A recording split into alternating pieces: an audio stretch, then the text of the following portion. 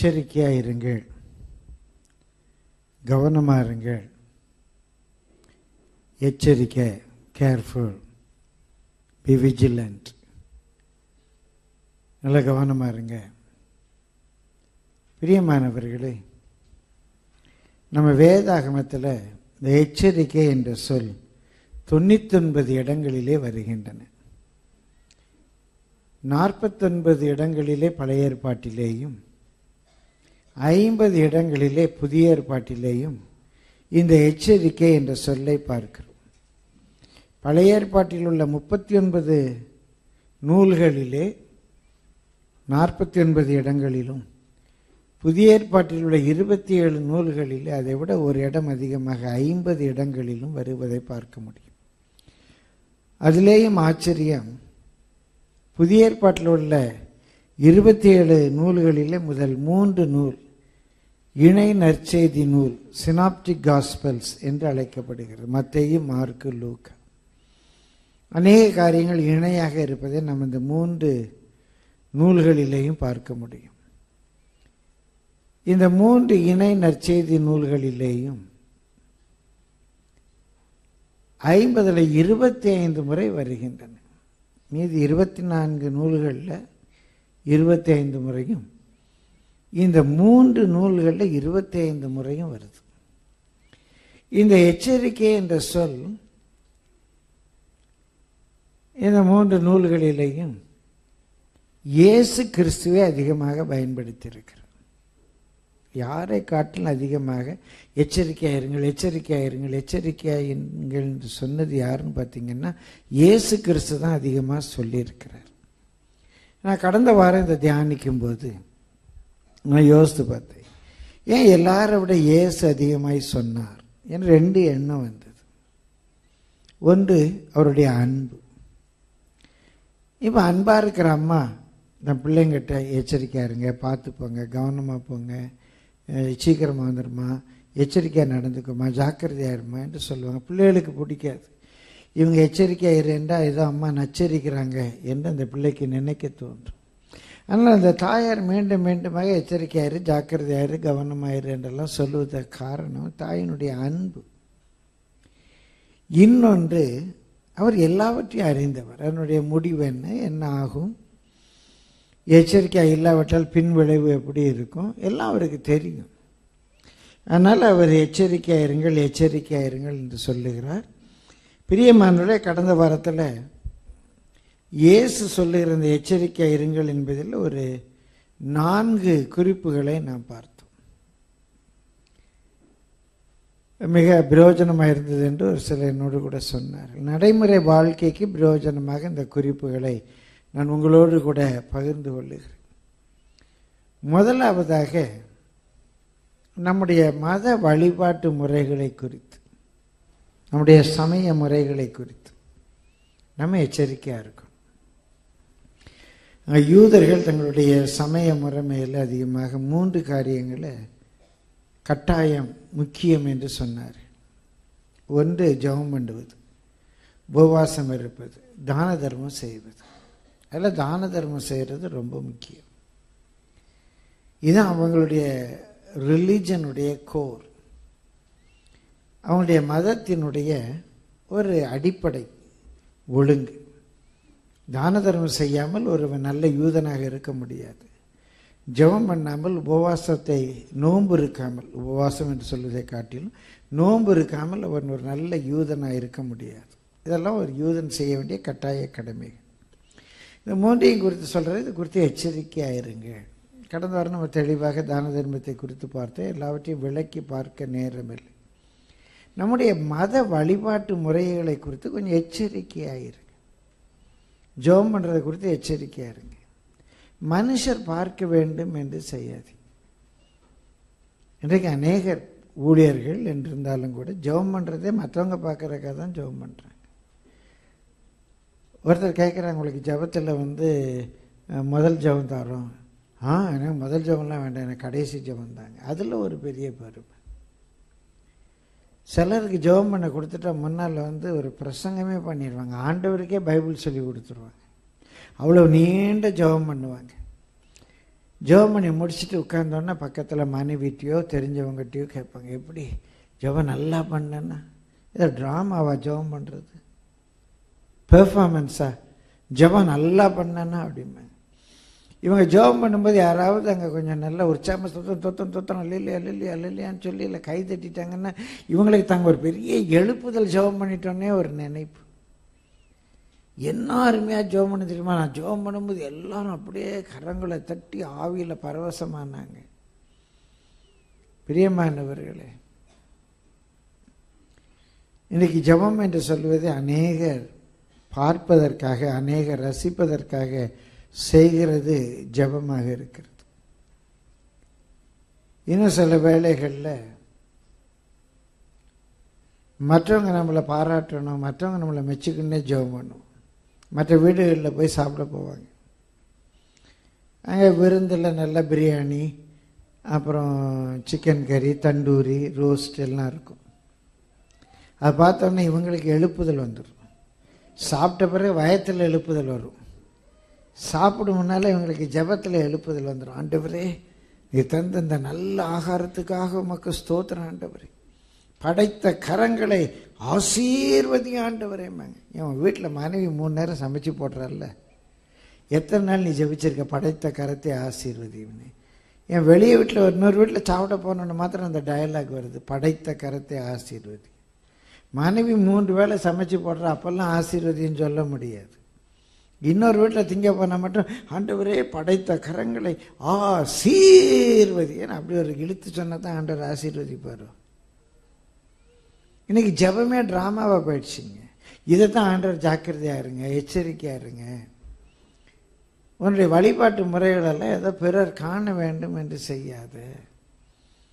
ஜெபம் பண்ணுறதா இருக்கலாம் பாட்டு பாடுறதா இருக்கலாம் பிரசங்கம் பண்ணுறதா இருக்கலாம் ஊழியம் செய்கிறதா இருக்கலாம். ஒரு சபையிலேருந்து கிராம ஊழியம் போடுறாங்க. இன்றைக்கி தெரியாமல் போயிடுச்சு இதெல்லாம். நம்ம செய்கிறது நமக்கே தெரியக்கூடாது. ஆனால் வலதுகை செய்கிறது இடதுகைக்கு தெரியக்கூடாது. நான் நல்லா ஜெபம் பண்ணேன்னு சொல்லி எனக்கே தெரியக்கூடாது. நான் நல்லா பாட்டு பாடினேன்னு சொல்லி எனக்கே தெரியக்கூடாது. நான் ரொம்ப உபவாசம் இருக்கிறேன். நான் தான் உபவாசம் இருந்து ஜெபிக்கிறேன்னு சொல்லி எனக்கே தெரியக்கூடாது. அது நானே நினைக்கக்கூடாது. உபவாசம் இருந்தேன்னா இருந்தேன். ஜெபம் பண்ணேன்னா பண்ணிட்டேன். அவ்வளோதான் அதை பற்றி நானே நினைக்கக்கூடாது தான தர்மம் பண்ணது எனக்கே தெரியக்கூடாது. ஏதோ வாய்ப்பு கருத்தர் கொடுத்தாரு பண்ணோம் ரைட் முடிஞ்சு போச்சு. ஊழியம் செய்கிறோமா சந்தோஷம். சபையிலேருந்து கிராம ஊழியம் போவாங்க. ரொம்ப சந்தோஷம். கிராம ஊழியம் போயிட்டு வந்தோன்னே அதெல்லாம் ஃபோட்டோ எடுத்து வாட்ஸ்அப்பில் ஃபேஸ்புக்கிலலாம் இந்த ஃபோட்டோ போடுவாங்க. நோக்கம் என்ன? எல்லாரும் பார்க்கணும். அப்போ நீ செய்த ஊழியத்தினுடைய பலனை அடைஞ்சாச்சு. எல்லாரும் பார்க்கணும்னு நினச்சிங்க எல்லாரும் பார்த்துட்டாங்க. அவர் இந்த பாஸ்டர் நிறையா ஊழியம் செய்கிற இந்த சபை நிறையா ஊழியம் செய்யுது நீ செய்கிறத கர்த்தர் பார்த்தா போதாதா? ஆத்மா ரட்சிக்கப்படணும். நம்ம ஊரெல்லாம் போய் ஹேண்ட்பில் கொடுத்துட்டோங்கிறனால பெரிய அச்சீவ்மெண்ட் கிடையாது. ஆத்மா ரட்சிக்கப்பட்டால் சந்தோஷம். அப்போ பிரியமானவர்களை நம்முடைய மத வழிபாட்டு முறை எதுவானாலும் சரி மற்றவங்க பார்க்கணும் மற்றவங்க புகழணும் என்று செய்யாமல் தேவன் பார்க்கணும் தேவன் நம்மை ஆசீர்வதிக்கணும். தேவன் அதற்குரிய பதிலை கொடுப்பார். அப்போது நீங்கள் செய்கிற கிறிஸ்தவ வழிபாட்டு முறை நீங்கள் உடுத்துறது எதுவானாலும் சரி. ஜாக்கிரதையாக இருங்க. மற்றவங்க பார்க்கணும் மற்றவங்க புகழணும் அப்படின்னு செய்யாதீங்க. நீங்களும் பார்க்காதீங்க. இது முதல் குறிப்பாக பார்த்தோம். இரண்டாவதாக போன வாரத்தில் பார்த்தோம் பொருளாசையை குறித்து எச்சரிக்கையாக இருங்க. பொருள் வேணும். அறிவினாலே அறைகள் அருமையும் இனிமையுமான பொருட்களாலே நிரம்பியிருக்கு எல்லாவற்றையும் நாம் அனுபவிக்கும்படியாகத்தான் தேவன் சம்பூர்ணமாக நமக்கு தருகிறார். பொருள் தேவை நல்ல வாகனம் தேவை நல்ல வசதி வாய்ப்புகள் தேவை. எல்லாவற்றிலேயும் நன்மையான காரியங்கள் நமக்கு தேவை.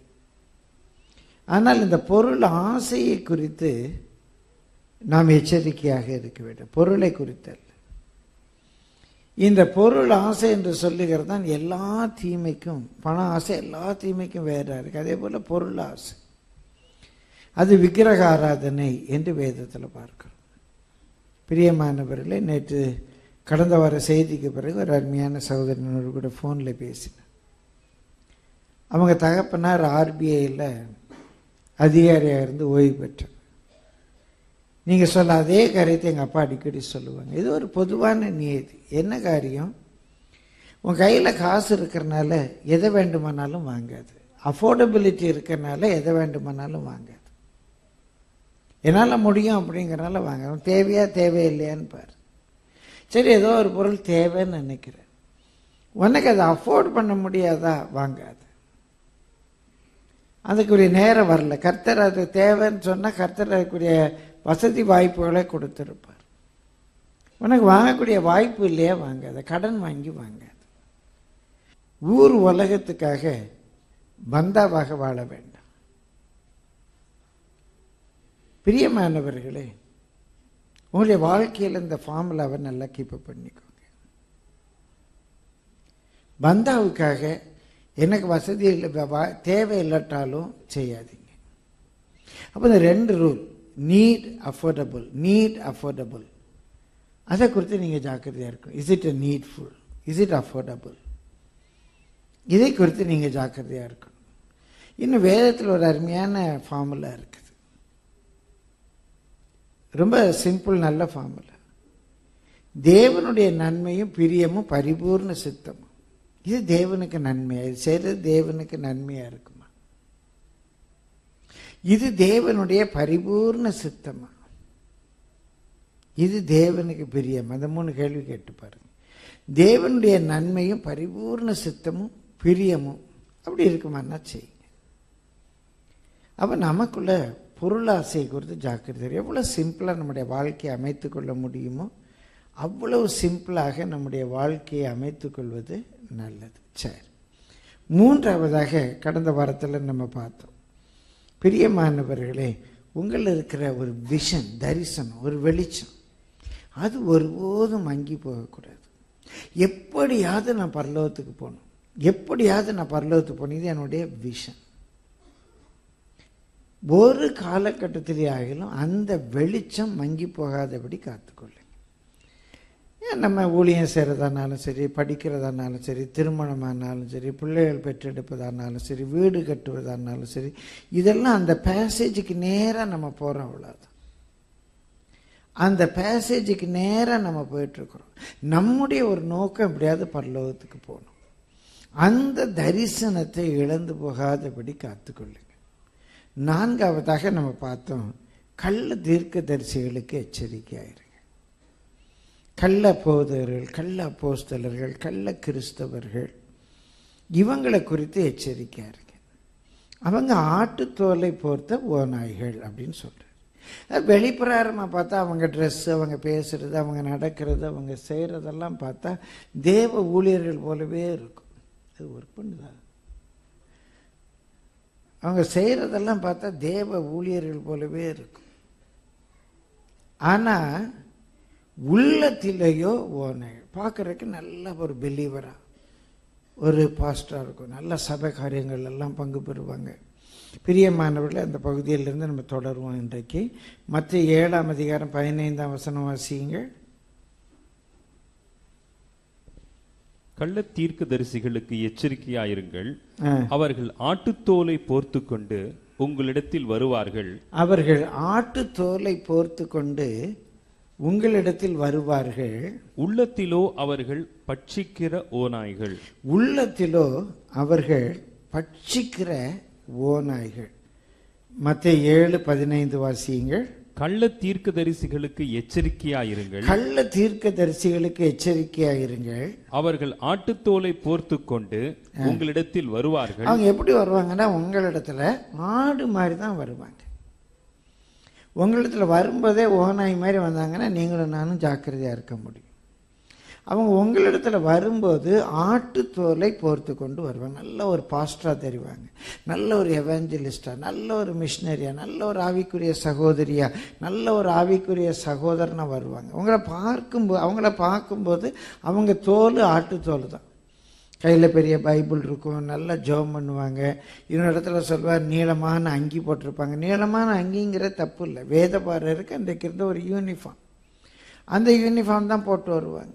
நீளமான அங்கி தரிச்சிருப்பாங்க. நல்லா ஜெபம் பண்ணுவாங்க. எல்லாம் இருக்கும். அவங்கள பார்த்து ஆட்டுத்தோல் தான் போத்திருப்பாங்க. பிரியமானவர்களே ஆட்டுத்தோலை போர்த்து வருவார்கள் உங்களிடத்தில் வருவார்கள்.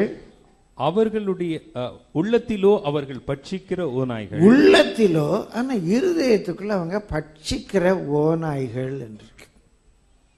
உள்ளத்திலோ அவர்கள் பட்சிக்கிற ஓநாய்கள். அப்ப நம்ம எதில் தான் அறிந்து கொள்ள முடியும்? மரமானது அதன் கனிகளினாலே தான் அறியப்படும். மரமானது அவனுடைய கனிகளாலே அறியப்படும். அவங்க கிரியைகளால தான் இவங்க வந்து பட்சிக்கிற ஓநாய்களா இல்லைன்னா ஆட் ஆட்டுக்குட்டிகளாக இல்லை ஆட்டுத்தோலை போர்த்தவர்களா? பார்க்குறதுக்கு ரெண்டும் ஆட்டுத்தோல் மாதிரி இருக்கும். அநேக வேலைகளை நம்ம அவங்கள கண்டுபிடிக்க முடியாது. அதனால தான் ஏசு சொன்னார் எச்சரிக்கையாக இருங்கள் அப்படின்னு சொன்னார். என்ன சொன்னார்? எச்சரிக்கையாக இருங்கள். நம்ம எச்சரிக்கையாக இல்லைன்னா அவங்கள கண்டுபிடிக்கவே முடியாது. அவங்க கனியை பார்க்குறோம். இது என்ன கனி? அவங்க உள்ளத்தில் எப்படி இருக்கிறாங்க? அவங்க கிரியைகள் எப்படி இருக்குது? மரமானது அவங்க கிரியைகளாலே அறியப்படும். இப்போ உதாரணமாக வைத்துக்கொள்வோம். ஒரு சபையில் ஒருத்தர் இருக்கிறார். நல்லா ஆடு பார்க்குறக்கு நல்ல ஆடாக இருக்கிறார்.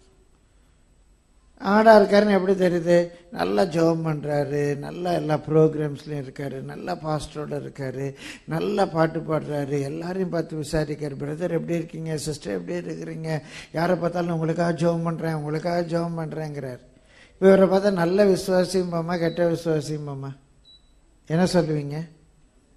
ஆ? நல்ல விசுவாசி. அவரை போல ஒரு ஆள் ஏன்னா அப்படி இருக்கார். சரி நாலு வருஷம் இருக்கார் அஞ்சு வருஷம் இருக்கார் பத்து வருஷம் இருக்கார். அவரால் ஒரு ஆத்மா கூட ரட்சிக்கப்படலை. அவரால் அது வரைக்கும் ஒரு ஆத்மா கூட ரட்சிக்கப்படலை சரி. என்னோடு கூட சேர்க்காதவன் சிதறடிக்கிறான்னு பைபிளில் போட்டிருக்கு. அவரால் ஒரு ஆத்மா கூட ரட்சிக்கப்படலை. ஆனால் கொஞ்சம் கொஞ்சமாக அவரால் நிறைய பேர் சபையை விட்டு போகிறாங்க அவரால் நிறைய பேர் சபையை விட்டு போகிறாங்க இப்போ அவர் நல்ல ஆத்மாவா கெட்ட ஆத்மாவா? சொல்லுங்க. கெட்ட ஆத்மா. அப்போ அவர் ஆட்டுத்தோலை பொறுத்த என்னது? ஓ நாய் நம்ம என்ன நினச்சிட்டோம் இவ்வளோ நாளும்? ஐயோ இது ஆடு ஆடு ஆடுன்னு நினச்சிட்டோம். ஆனால் அது ஆடு இல்லை ஆட்டுத்தோலை போர்த்த ஓ நாய் அதனால் சபைக்கு எந்த பிரயோஜனமும் கிடையாது. சபையில் இருக்கிற ஆடுகள் அதால் என்ன செய்யப்படும்? சிதறடிக்கப்படும். பிரியமானவர்களே நமக்கு ரொம்ப அது எச்சரிக்கை இல்லைன்னா நம்ம கண்டுபிடிக்க முடியாது. எச்சரிக்கை இல்லைன்னா நம்ம கண்டுபிடிக்க முடியாது. சபைக்கு பிரயோஜனமாக இருக்கிறவங்கள அவங்க சிதறடிச்சிருவாங்க. சபையை விட்டு விரட்டிடுவாங்க சபையிலேருந்து பிரிச்சிருவாங்க. ஆனால் அவங்களால அந்த சபைக்கோ இல்லை பொதுவாகவோ ஒரு எந்த பிரயோஜனமும் இருக்காது என்றைக்கு அந்த கிரியை நம்ம பார்க்குறோமோ அப்போ தான் ஆகாகா இதை இவ்வளோ நாள் ஆடலாம் நினச்சிட்டோம் அப்படின்னு இதை சாதாரண பார்க்க முடியும். நான் அடிக்கடி யூதாஸ் காரியத்தை பற்றி யோசிப்பேன். ஏசு யூதாஸ் காரியத்தை என்னை காட்டி கொடுப்பாங்கிறத சொல்கிறார் என்னோட கூட தாளந்தில் கை விடுறவன் தான். ஒருவராவது யூதாஸ் காரியத்தை சந்தேகப்படலைங்க. ஒருவராக யூதாஸ் காரியத்தை அப்படி பண்ணுவார்னே நினைக்கல. எல்லாரும் என்ன சொல்றாங்க? ஐயரே நானா ஐயரே நானா ஐயரே நானான்னு அவன் தாம்பேல சந்தேகப்படுறானே ஒழிய யூதாஸ் காரியத்து மேல ஒருத்தருக்கும் சந்தேகம் வரல. அதே போல தான் இந்த கள்ள தீர்க்கதரிசிகள் மேலே நமக்கு சந்தேகம் வராது. கள்ள அப்போஸ்தலர்கள் கள்ள ஊழியர்கள் கள்ள மிஷினரிஸ் கள்ள பாஸ்டர்ஸ் இந்த கள்ள பயல்கள் மேலே நமக்கு சந்தேகமே வராது. பிரியமானவர்களே என் வாழ்க்கையில் நடந்த ஒரு சம்பவத்தை நான் சொல்கிறேன் ஒரு சகோதரர் எப்போதும் என் கூட இருப்பார்? எப்போதும் என் கூட இருப்பார்? என் கூட அதிகமாக ட்ராவல் பண்ணியிருக்கார் அதிகமாக என் கூட வெளியே சாப்பிட்ருக்கிறார் அதிகமாக என் கூட ஃபங்க்ஷன்ஸ் வந்திருக்கு அதிகமாக வெளியூர்களுக்கு வந்து என் கூடயே இருப்பார். சிலர்லாம் வந்து சொன்னாங்க அவர் எங்கள் வீட்டுக்கு அனுப்பாதீங்க அவர் சரியில்லைன்னாங்க. அப்படி சொன்னவங்களெல்லாம் நான் பாய்ச்சிட்டேன். அவர் சரியில்லைன்னு சொன்னவங்கள நான் பாய்ச்சேன். ஒரு நாள் நான் உபவாசம் இருந்து ஸ்கிரிப்சர் யூனியன் இன்றைக்கு எனக்கு அந்த காட்சி நினைவு ஒரு அறை எடுத்து ரெண்டு நாள் மூன்று நாள் அறை எடுத்து உபவாசம் இருந்து ஜெபம் பண்ணிகிட்டு இருக்கேன். அப்போ சபையில் உள்ள விசுவாசிகள் ஒவ்வொருத்தருக்காக ஜெபிக்கிறேன். இவருக்காக நான் ஜெபிக்கும்போது பார்த்தா அப்படியே ஆள் உயரத்துக்கு ஒரு தேள் தெரியுது. இன்றைக்கு எனக்கு அந்த காட்சியின் நினைவு இருக்கு. அப்படியே அவரை நினச்சி ஜெபிக்கிறேன். அவர் உருவத்துக்கு ஒரு தேள் தெரியுது. எஸ் நாம் ஏதோ இப்படி ஒரு எண்ணம் வருது. சார் ஏதோ ஒரு தவறான எண்ணம் வருது. எண்ணம் வருதுன்னு நானே அதை மாற்றி பார்க்குறேன். ஆனால் அப்படியே தேள் மாதிரி தெரியுது. ஏதோ மனதில் வந்த எண்ணம்னு விட்டுட்டு. ஆனால் சபையில் அவரால் எத்தனை பேர் பிரிந்து போனார்கள் தெரியுமா? அதற்கு பிறகு.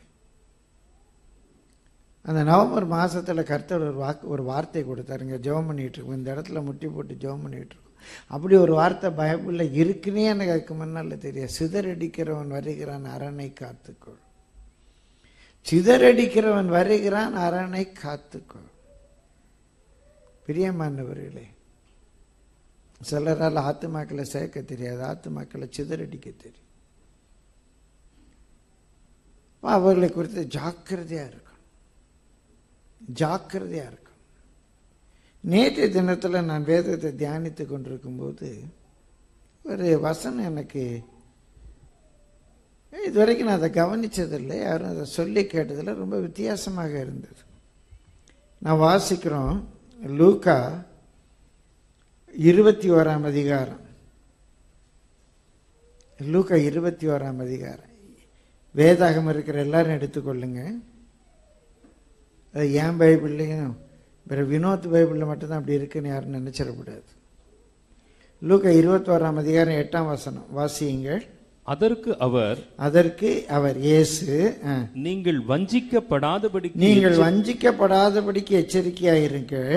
ஏனெனில் ஏனெனில் அநேகர் வந்து அநேகர் வந்து என் நாமத்தை தரித்துக் கொண்டு அங்க என் நாமத்தை தரித்து கொண்டு என்று இருக்கிறது இங்கிலீஷ்ல என் மை நேம் என் நாமத்தில் இருக்கு அநேகர் இயேசுவின் நாமத்தில் வந்து இயேசு என்ற பெயரை தரித்து கொண்டு என்று அல்ல. என் நாமத்தில் வந்து அநேகர் என் நாமத்தில் வந்து நான் தான் கிறிஸ்து என்றும் நான் தான் கிறிஸ்து என்றும். அங்க நான் தான்ங்கிறது யாரு? யாரை குறிக்க சொல்லுங்க? அநேகர் என் நாமத்தில் வந்து நான் தான் கிறிஸ்து. அப்போ யாரை கிறிஸ்துன்னு சொல்கிறாங்க அவங்களே அப்போ அவங்க வந்து அவங்க நாமத்திலலாம் வரணும். ஏன் இயேசுவின் நாமத்தில் வரணும்? அவங்க தாங்க சொந்த நாமத்தில் வரணும். வந்து நான் தான் கிறிஸ்துன்னு சொல்லணும். ஏன் இயேசு நாமத்தில் வரணும்? இதுவரைக்கும் நான் அதை யோசித்ததில்லை. அவங்க என் நாமத்தில் வந்து என்ன சொல்லுவாங்களா? நான் தான் கிறிஸ்து நான் தாங்கிறது யார் அவங்க கிறிஸ்துங்கிறாங்க? யார அவங்க கிறிஸ்துங்கிறாங்க? இயேசு நாமத்தில் வந்தவங்க இப்போ ஒருத்தர் இருக்கிறார். அவர் பேர் என்ன பேர் வச்சுக்கலாம்? மிஸ்டர் எக்ஸ்ன்னு வச்சுக்குவோம். வேற ஏதாவது பேரை வச்சா உங்க பேரா இருக்க போகுது. மிஸ்டர் எக்ஸ் மிஸ்டர் எக்ஸுங்கிறவர் இயேசுவின் நாமத்தில் வந்து நான் தான் கிறிஸ்துன்னு எப்படி சொல்லுவார்? அவர் வந்ததே இயேசுவின் நாமத்தில் தானே வந்தார். இப்போ இயேசு தானே கிறிஸ்துன்னு சொல்லியிருப்பார். நான் தான் கிறிஸ்து. அங்கே இலக்கணப்படி பார்த்தால் என் நாமத்தில் வந்து நான் தான் கிறிஸ்துன்னு சொல்லுவாங்க. அப்படின்னா இயேசு கிறிஸ்துன்னு சொல்கிற மாதிரி இருக்கு. நீங்கள் வஞ்சிக்கப்படாதபடி எச்சரிக்கையாக இருங்க இயேசுவின் நாமத்தில் வந்து இயேசு தான் கிறிஸ்துன்னு சொல்கிறவங்களை குறித்தும் ஜாக்கிரதையா இருங்க இயேசு நாமத்தில் தீர்க்கசனம் சொல்லுவாங்க இயேசு தான் கிறிஸ்தும்பாங்க இயேசுவை பற்றி பிரசங்கம் பண்ணுவாங்க.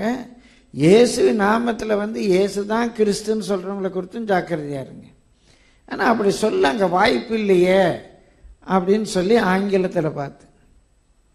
ஆங்கிலத்தில் King James version authorised version என்று அங்கீகாரம் பெற்ற அந்த பிரதிகளை வச்சுருந்தீங்கன்னா அதில் அந்த கிரைஸ்ட் என்ற சொல் இட்டாலிக்ஸில் சரிவு எழுத்தில் இருக்கிறத பார்க்க முடியும். அந்த சொல் சரிவு எழுத்தில் இருக்கிறத பார்க்க முடியும். சரிவு எழுத்தில் இருக்கிறது என்று சொன்னால் அதனுடைய பொருள் என்ன? மூல பாஷையில் அந்த சொல் இல்லை அப்படின்னு அர்த்தம். மூல பாஷையில் அந்த சொல் இல்லை. பின்னால் மொழிபெயர்த்தவர்கள் அந்த சொல்லை சேர்த்திருக்கிறார் கருத்து வருவதற்காக ஆங்கில வேதாகம் வாசிப்பவர்கள் குறிப்பாக கிங் ஜேம்ஸ் வேர்ஷனில் எங்கெங்கே சரிவு எழுத்து இருக்குதோ நீ ஒன்று தெரிந்து கொள்ளலாம் மூல மொழியிலே அந்த வார்த்தையில் அந்த சொல் இல்லை அப்படின்னு. ஆனால் இத்தனை ஆண்டுகளாக அப்படி நான் தான் கிறிஸ்துன்னு சொல்லுவாங்க நான் தான் கிறிஸ்துன்னு சொல்லுவாங்க என்று கேட்டு வாசித்து பழகி விட்டேன் நேற்று பார்த்தோன்னே அதிர்ச்சியாக இருந்துச்சு. சரி அப்போ மூல பாஷையில் எப்படி இருக்குன்ற மல்ல மற்ற மொழிபெயர்ப்புகளை பார்த்தால் அந்த கிறிஸ்து என்ற சொல்லே இல்லை. அதுபோல் என்ன இருக்குது அநேகர் நாமத்தில் வந்து நான் தான் அப்படின்னு சொல்லுவாங்க. ஐஎம்னு சொல்லுவாங்க அவ்வளோதான் இருக்கு. ஐஎம்னு என்ன சொல்லுவாங்கன்னு தெரியாம ஐஎம் கிரைஸ்ட்னு சொல்லுவாங்கன்னு மொழி பார்த்துட்டாங்க பிரியமான ஈகோ ஈமி அப்படின்னு இருக்கு. அவ்வளோதான் சொல்லுவாங்க அங்கே கிறிஸ்துலாம் இல்லை. ஈகோ ஏமி அப்படின்னா நான் இருக்கிறேன். நான் தான். தமிழ் அழகாக இருக்கு நான் தான். இன்றைக்கு அநேகர் இயேசுவின் நாமத்தில் வந்து நான் தான் நான் தான் நான் தான் நான் தான்பாங்க அந்த நான் தான் நான் தான் ஆங்கில ஆராதனையில் தமிழில் சொன்னேன். நான் தான் நான் தான் சொல்கிற ஓந்தானை குறித்து ஜாக்கிரதையாக இருங்க. அவங்க தங்களை பற்றி நாங்கள் தான் கிறிஸ்து அப்படிலாம் சொல்ல வேண்டாம். நான் தான் உனக்காக ஜெபம் பண்ணுறேன் நான் தான் நான் தான் உன்னை ரட்சிப்புக்குள்ள நடத்தினேன். நான் தான் உனக்காக எல்லாம் செய்கிறேன் நான் தான் நான் தான் சொல்லும் சொல்லுது. அதுகளை குறித்து ஜாக்கிரதையாக இருங்க. அது ஒரு பிசாசினுடைய ஆவி. அந்த கிரேக்க சொல்லல ஈகோ ஏமி அப்படின்னா சரியான தமிழில் நான் இருக்கிறேன். ஐ ஆம். ஐனா நான் ஆம்னா இருக்கிறேன். நான் இருக்கிறேன். நான் பார்த்துக்குவேன். நான் செய்வேன். நான் உனக்கு இதை தருவேன். நான் உனக்கு அதை தருவேன். நான் இருக்கிறேன்ல பிரியன் ஏன் கவலைப்படுற? இந்த நான் இருக்கிறேன்னு சொல்லுவாங்க பாருங்க அவங்க யாருமே இருக்க மாட்டாங்க. நான் இருக்கிறேன்னு சொல்றவங்க அவங்களே அவங்கள பார்த்துக்க முடியாது. அவங்க யார் அடுத்தவங்கள பார்த்துக்க போற? பிரியமானவர்களே தேவன் மாத்திரம்தான் ஐயம் சொல்ல முடியும். நான் இருக்கிறேன். நேற்று இருந்தது போல் இன்னைக்கு இருப்பார். இன்னைக்கு இருக்கிறது போல நாளைக்கு இருப்பார். ஓ என்ன தேவன் அழைத்தார்? தேவன் என்னை பார்த்து கொள்கிறார் என்ன மனுஷன் அழைக்கிறான். அழைச்சவன் நாளைக்கு பொட்டுன்னு போயிட்டா நான் என்ன பண்ணுவேன்? என்னை அழைக்கிறேன் என்னை கூப்பிடுறான். எப்போ அவன் வேலையெல்லாம் விட்டு வா ஊழியத்துக்கு வா. நான் உன்னை கவனிச்சுக்கிறேன். நான் இருக்கேன்ல நான் உன்னை பார்த்துக்கிறேன். உன் தேவைகளெல்லாம் நான் சந்திக்கிறேன். உன் மனைவி பிள்ளைகள் உன் குடும்பம் உனக்கு என்ன தேவையோ எல்லாம் நான் தாரேன். உனக்கு வீடு தரேன் கார் தரேன் மோர் தரேன் பைக் தரேன் எல்லாம் சொல்கிறான்னு வச்சுக்கோ. இந்த அரசனை நம்பி எவ்வளோ புருஷனை கைவிட்டாலும். சரி இவர் எல்லாம் தாரேங்கிறாரே அப்படின்னு சொல்லி இருக்கிற வேலையை விட்டுட்டு நான் வந்துட்டேன்னு வச்சுக்குவோம் வந்து ரெண்டாவது நாளில் அந்த ஆள் போட்டுன்னு போயிட்டாருன்னா என்ன நல்லா இருக்கவங்க கூட நான் இப்படி செஞ்சால் போயிடுவாங்க அவங்க ஒழுங்காக இருந்திருப்பாங்க. நான் யோனா மாதிரி போனேன்னா கப்பல் ஆடிடும்ல. ஸோ அவங்க போன பிறகு எனக்கு யார் செய்வேன் நான் இருக்கிறேன் யாராவது சொல்ல முடியுமா? நான் உனக்கு செய்கிறேன்னு யாராவது சொல்ல முடியுமா? ஜாக்கிரதையாக இருங்க. அதுவும் இயேசு நாமத்தில் வந்து யாராவது நான் தான் நான் இருக்கிறேன். நான் தான் நான் தான் உன்னை காப்பாற்றுவேன் நான் தான் உன்னை ரட்சிப்பேன். நான் தான் உன்னை சாப்பாடு போடுவேன்னு சொன்னால் நம்ம நம்ம ஜாக்கிரதையாக இருக்கு அங்கே நான் தான் கிறிஸ்துன்னு சொல்ல வேண்டாம். நான் தான் அவ்வளோதான் இருக்குது கிறிஸ்துங்கிற சொல் அங்கே வந்து சேர்த்துருக்குறாங்க. அவங்க மொழிபெயர்த்தார்கள் அந்த கரு கருத்துக்காக. ஆனால் இயேசு சொல்லும்போது என் நாமத்தில் வந்து யார் தான் நான் தான் நான் இருக்கிறேன்னு சொன்னால் ஜாக்கிரதையாக இருங்கன்னு சொல்லியிருக்கார்.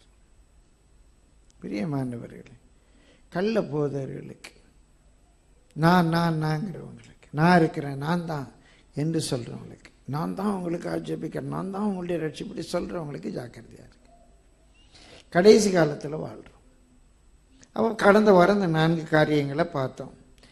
அது திரும்ப திரும்ப நம்ம நான் உங்களை சொல்கிறது எனக்கு பாரமாக இல்லை. என்ன எப்படியாவது அந்த கருத்து ஆழமாக பதியணும். நீங்கள் பொருளாசை குறித்து எச்சரிக்கையாக இருக்கணும். உங்களுக்கு இருக்கிற வெளிச்சம் வங்கி போகாதபடிக்கு தரிசனம் கெட்டு போகாதபடிக்கு ஜாக்கிரதையாக இருக்கணும். ஒரு மாயமான ஒரு மனுஷர் காண வேண்டும் என்று இருக்கிற அந்த மத வழிபாட்டு முறைகளை குறித்து நீங்கள் ஜாக்கிரதையாக இருக்கணும். கள்ள போதர்களுக்கு ஜாக்கிரதையாக இருக்கணும். இப்போ ஐந்தாவதாக பிரியமானவர்களே கள்ள உபதேசங்களுக்கு ஜாக்கிரதையாக இருக்கணும்.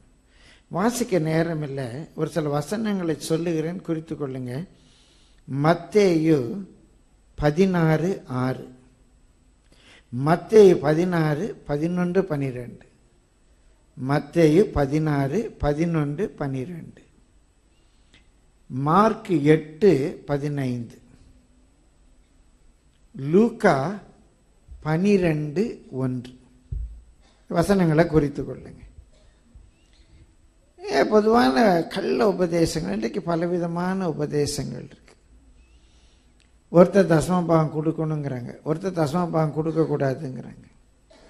ஒருத்தர் தசமபாகம் கொடுக்கறதே பெய்த்தனத்துக்கு அடுத்ததுங்கிறாங்க. ஒருத்தர் கண்டிப்பாக உங்களுக்கு குடும்பம் இருக்கணும் ஊழியம் செய்யணும்னா குடும்பம் இருக்கணுங்கிறாங்க.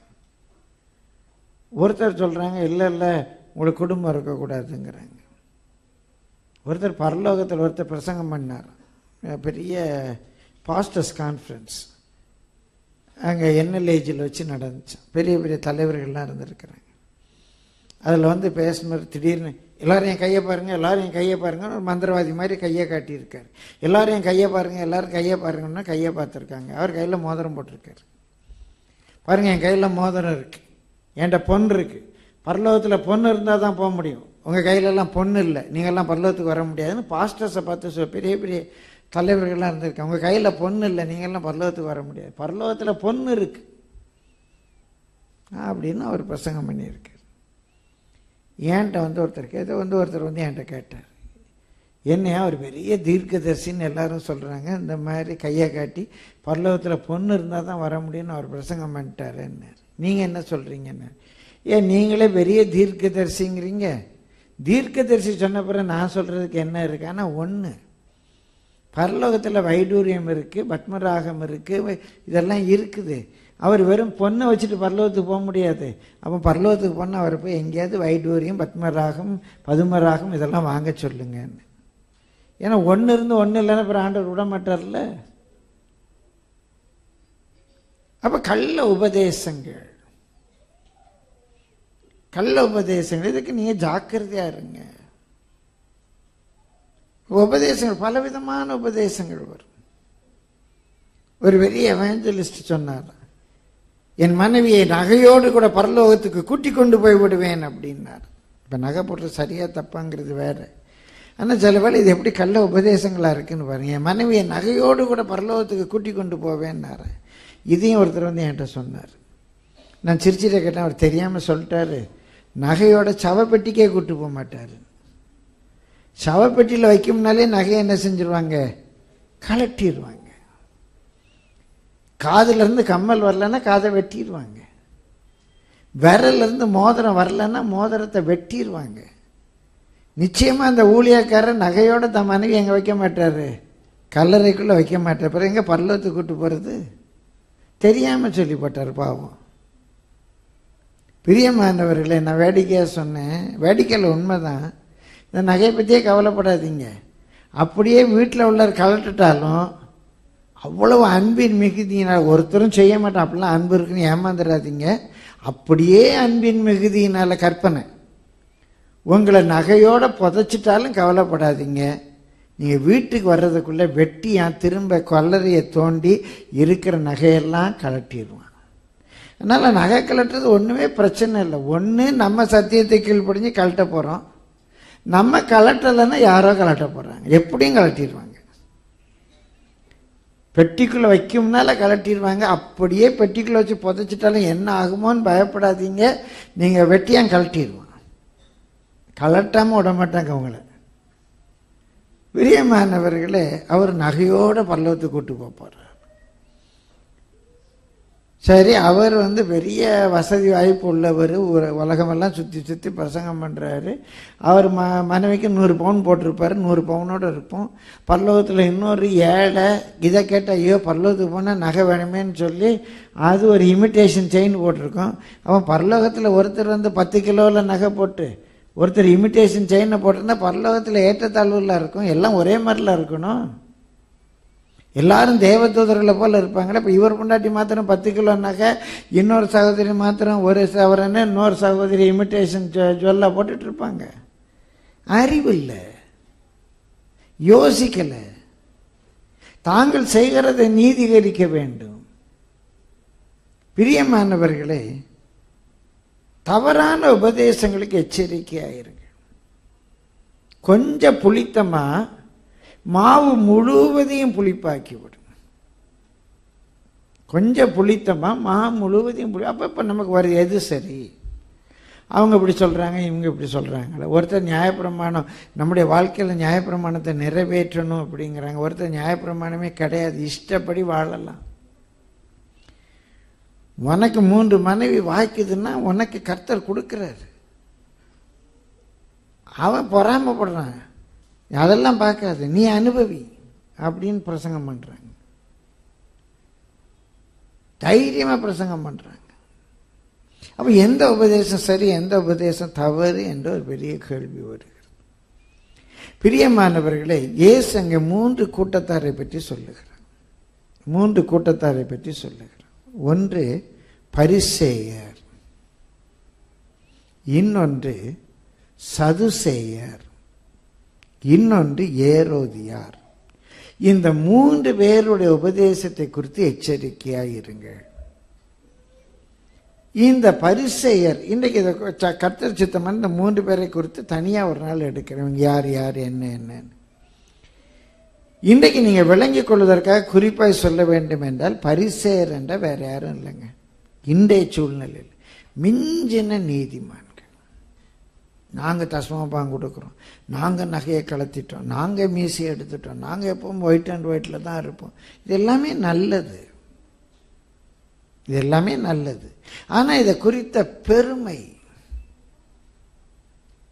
இதை குறித்த பெருமை பிரியமானவர்களே இப்போ கூட ஒரு அட்வர்டைஸ்மெண்ட் வருது டிவியில் எம்சிஆர் அட்வர்டைஸ்மெண்ட் ஃப்ரெண்ட்ஸ் எல்லாம் உட்காந்து கேட்குறாங்க ஏன்டா இப்போ எப்போ பார்த்தாலும் நீ ஒயிட் அண்ட் ஒயிட் போட ஆரம்பிச்சிட்ட அப்படிங்கிறாங்க. அவன் சொல்கிறான் ஒவ்வொரு கலருக்கு ஒரு அடையாளம் இருக்குது அது உளவியலில் இருக்குது உளவியலில் இருக்குது சிவப்புக்கு என்ன அடையாளம் ப்ளூக்கு என்ன அடையாளம் கருப்புக்கு என்ன அடையாளம் அப்படின்னு உளவியலில் இருக்குது ஒவ்வொரு கலருக்கும் ஒரு அடையாளம் இருக்குது வெள்ளைக்குன்ற ஒரு அடையாளம் இருக்குது அதில் கம்பீரம் இருக்குது அதில் இது இருக்குது அது இருக்குன்னெலாம் சொல்கிறோம்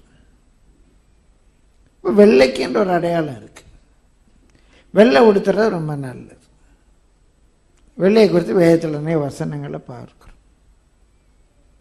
பிரியமானவர்கள் அதே இயேசு சொன்னார் காட்டு புஷ்பங்களை கவனித்து பாருங்கள்னார். எல்லா பூவும் வெள்ளையாகவும் இல்லை. அவைகளெல்லாம் உடுத்து வைக்கிற தேவன் சொல்லியிருக்கிறார். அவள் கலர் தப்பா என்றால் தப்பு இல்லை. ஆனால் நான் வெள்ளையே போட மாட்டேன். எனக்கு வெள்ளை போடுறதே பிடிக்காது. எனக்கு இந்த வெள்ளை வேஷம்லாம் வேண்டான்னா நீ பரலோகத்துக்கே போக மாட்டேன் ஏன்னா இந்த ஆத்மா எப்படி உன்னை விட்டு விடுபடுகிறதோ அப்படி தான் அது பரலோகத்தில் இருக்க போகுது. இந்த வெள்ளையே எனக்கு பிடிக்காது என்று சொல்லுகள் பரலோகத்தில் ஒயிட் போட பிடிக்காது. இங்கேயே பிடிக்காதவங்களுக்கு பரலோகத்தில் பிடிக்காது. பிரியமானவர்களே வெள்ளையை குறித்த பெருமை தவறு. வெள்ளையை குறித்த மேட்டிமை தவறு. இதான் ரொம்ப பேலன்ஸ்டாக இருக்கும். நான் எப்போதும் ஒயிட் தான் போடுவேன். நான் எப்போதும் ஒயிட் தான் போடுவேன். அந்த பெருமை வேண்டாம். வெள்ளையில் அழகு இருக்கு. ஆனால் காட்டு புஷ்பங்களை தேவன் படைத்திருக்கிறார். பல வர்ணங்களில் பூக்கள் இருக்கின்றன. பிரியமானவர்களே எல்லாரும் வெள்ளையாக தான் இருக்கணும் அப்படின்னா ஆண்டவர் எல்லாருக்குமே வெள்ளத்தோலை கொடுத்துருப்பார். இல்லை வெள்ளை தான் சரி அப்படின்னோன்னா ரட்சிக்கப்பட்டவுடனே எல்லாரும் வெள்ளையாக மாறி இருப்பாங்க. மாறலை. அப்போ வெள்ளை தேவையில்லை. நான் வெள்ளை உடுத்தவே மாட்டேன். வெள்ளை பேஷமே வேண்டாம். வெள்ளை எனக்கு பிடிக்காது. அப்படின்னா பரலோகத்தில் வெள்ளை போடாமல் இருக்க முடியாது. அப்படிதான் நம்ம வேதத்தில் பார்க்குறோம் பரலோகத்தில் உடையை குறித்து. பரலோகத்தில் வந்து தேவ மனிதர்களை அடையாளம் காட்டும் போதே அவன் வெள்ளங்கி தரித்து உட்கார்ந்துருந்தான் வெண்வஸ்திரம் தரித்திருந்தான்னு பல இடங்களில் பார்க்குறோம். பிரியமானவர்களே பரிசேயர் தங்கள் வெள் இதை குறித்து பெருமைப்படுற மிஞ்சின நீதிமான்கள் தங்களுடைய பிரதிஷ்டைகளை குறித்து தாங்க தசமபாகம் கொடுக்கிறது குறித்து தங்களுடைய வாழ்க்கை முறையை குறித்து தங்களுடைய சுயநீதியை குறித்து பெருமை அந்த உபதேசம் நமக்கு வேண்டாம். அதெல்லாம் நல்லது தான் அவங்க நீதியை காட்டில் நம்முடைய நீதி அதிகமாயிராவிட்டால் நம்ம தேவனுடைய ராஜ்யத்தில் பிரவேசிக்க மாட்டோம். நான் மூணு நேரம் ஜெபம் பண்ணுவேன் நான் இத்தனை நாள் உபவாசம் இருப்பேன் ரெண்டு நாள் உபவாசம் இருப்பேன். எல்லாம் நல்லது. ஆனால் அதை குறித்த பெருமை. இதை குறித்து நாம் ஜாக்கிரதையாக இருக்க வேண்டும். கத்துடைய பரிசுத்த நாமத்துக்கு மகிமை உண்டாவது பிரியமானவர்களை இந்த பக்கத்தில் சதுசேயர் என்று பார்க்கிறோம். இந்த சதுசேயர் யார்? அப்படின்னா நல்ல உலகத்தை அனுபவிக்கலாம். அவங்க மருமையை குறித்தெல்லாம் கவலை இல்லாதவங்க. தேவதூதர்களை பற்றி தெரியாது. ஆவிகளை பற்றி தெரியாது. அதெல்லாம் நம்ப மாட்டாங்க. இப்போ நல்லா வாழணும். ஒரு லௌகீகத்தால் நிறைந்தது. ஒரு பக்கம் இவங்களுடைய சுயநீதி நமக்கு வேண்டாம். இன்னொரு பக்கம் இந்த லௌகீகம் வேண்டாம். இந்த லௌகீகம் வேண்டாம். ஓ நான் எப்படி வேணாலும் இருக்கலாம். எப்படி வேணாலும் வாழலாம். இதை குறித்து ஜாக்கிரதையாக இருங்க. இதெல்லாம் ஒன்றும் தப்பு இல்லை. அப்படின்னு உலகத்தை அனுபவிப்பாங்க. தங்களுடைய அவயவங்களை அசுத்தத்தையும் அக்கிரமத்தையும் நடப்பிக்கும்படி விட்டு கொடுப்பாங்க. பிரியமானவர்களே கத்துடைய பரிசுத்த நாமத்துக்கு மயிமை உண்டாவது அப்போ ஏ இங்கே நம்ம ஒரு பக்கம் பரிசேரை குறித்து ஜாக்கிரதையாக இருக்கணும். இன்னொரு பக்கம் சதுசேரை குறித்து ஜாக்கிரதையாக இருக்கணும். ஏதோ இதில் இதெல்லாம் நம்ம இந்த வேர்ல்டில் இருக்கிறோம் வேர்ல்டில் இருக்கிறோம். அது மாதிரி தான் ட்ரெஸ் பண்ணணும். மற்ற பிள்ளைங்கள மாதிரி ட்ரெஸ் பண்ணணும். அப்போ தான் மற்ற பிள்ளைங்களை அட்ராக்ட் பண்ண முடியும். இல்லைன்னா மற்ற பிள்ளைங்க ஏசிட்டே வரமாட்டாங்க. இப்படி ஒரு பொய்யான உபதேசம். இதையும் குறித்து ஜாக்கிரதையாக இருக்கணும். மூன்றாவது ஏரோதியர் அப்படின்னு பார்க்குறோம். நான் மூன்று பேரையும் குறித்து தெளிவாக இன்னொரு நாள் எடுக்கிறேன். இந்திய ஒரு கான்டெக்ட்ஸில் ஏரோதியர் அப்படின்னு சொன்னால் அவங்க ராஜாவோடு ஒத்து போகிறவர். அரசாட்சியோடு கூட ஒத்து போகிறவர். கத்துடைய பரிசுத்த நாமத்துக்கு மைமை உண்டாவது ராஜாவோடு கூட ஒத்து போகிறவர். அந்த அரசு செல்வாக்கு வேண்டும்னு விரும்புகிறவங்க இறைவனை ராஜாவாக ஏற்றுக்கொள்வதற்கு பதிலாக ஏறுவது ஏறுவது என்ன சட்டம் அட்ஜஸ்ட் பண்ணிட்டு போயிட்டுருக்கோம். நம்ம அரசாங்கத்தை மதிக்கணும். அதிகாரிகளுக்காக ஜெபம் பண்ணணும். அதிகாரிகளுக்காக வேண்டிக் கொள்ளணும். பிரியமான விளைக்கத்துடைய பரிசுத்த நாமத்துக்கு மகிமை உண்டாவதாக. அப்போ இந்த மூன்று காரியங்களும் நம்ம தாக்காதபடிக்கு ஜாக்கிரதையாக இருக்கும் ஒரு பக்கம் பரிசெயர் ஒரு பக்கம் வேத ப- சதுசெயர் ஒரு பக்கம் ஏரோதி ஒரு பக்கம் மிஞ்சின நீதிமான்கள் பிரதிஷ்டை அது இதுன்னு சொல்கிறாங்க ஒரு பக்கம் உலகம் உலகம்னு சொல்கிறவங்க ஒரு பக்கம் அரசியல் பின்ன அரசியலோடு கூட கலக்கிறவங்க. இந்த மூன்று பக்கத்திலிருந்து வருகிற இந்த மும்முனை தாக்குதலையும் நம்ம மேற்கொண்டு அந்த உபதேசங்கள் உள்ளே வராமல் பார்த்துக்கொள்ளணும். வேதத்தில் உள்ள வசனத்தின்படி நம்ம நடக்கணும். வேத வசனமே நமக்கு வெளிச்சம். சத்தியத்தை கை கொண்டு வருகிற நீதி உள்ள ஜாதி உள்ளே பிரவேசிக்கும்படி அதனுடைய வாசல்கள் திறக்கப்படும்.